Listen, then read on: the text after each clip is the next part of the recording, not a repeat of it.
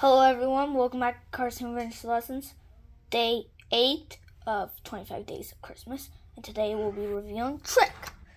Now, Trick is an odd truck. I mean, he is the only um, flat, flat, he's the Peterbilt type.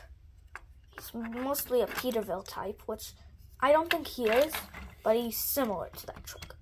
The other trucks I would call Max.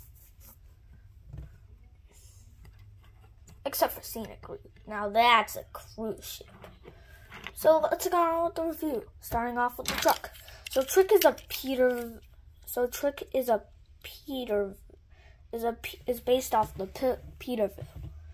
He has a nice red flat, and he has some grime on his grill. I actually painted that just to make more detail on him. He used to work for I like to say in his background bistro, he used to work for Stunt Team but got replaced by a much better hauler. His wheels are covered in dirt from all of his driving and and has loads of grime on dirt and grime all over his engines and and back. Hi. Hint hint. Check out the video. So much grime. Lots of orange paint all over the bottom. And that's Trick's review for Wells Trail. So as you can see, I didn't paint over Stunt Team because it's a beautiful logo. The Hot Wheels logo is nice, along with the American stripes. Hi, check out the video, please, and subscribe. The stars and stripes, and I don't know why they kind of just added more red here instead of Instead they used brown, but I don't know.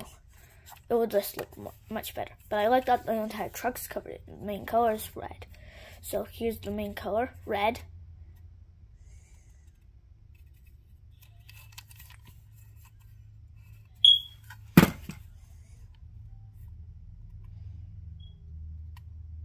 Yeah, he's been through worse. It, guess what? This was my fifth birthday present that I got from Kohl's. Now it's a long story. My dad got this so I get one toy from Kohl's. In fact, three for three weeks. So, and I obviously chose this guy. Also, Land and Florence. Go check out Florence Does Good. And the bottom's completely red in metal the same color of the wheels as Trick is. Here comes the best part. Boom. It opens up. Now, I know it's not that exciting, but all the other trucks that I used to have, they didn't have that feature. They didn't have that big of a feature. I mean, the top opening, now that feature wasn't there. But I think it serves justice. So what do you think of this review? I mean, I, I don't know if I should suggest you buying this. I mean, it's up, it's your decision if you want. I mean, Trick is a good car, but you can name him whatever you want. Stunty, Tar, whoever. And just have fun with your imagination. See whatever it takes Anyways, cue the outro.